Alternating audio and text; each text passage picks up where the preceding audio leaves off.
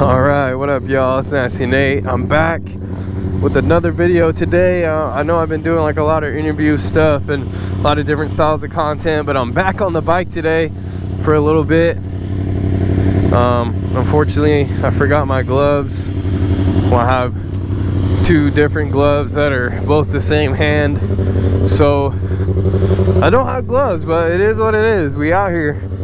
Oh, you got another set of gloves? Do you? Can I wear them?